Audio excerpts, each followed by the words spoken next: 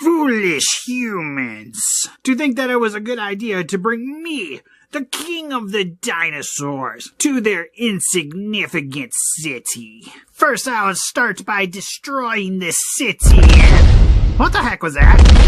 Can't be me. I've been standing here this entire time. Oh.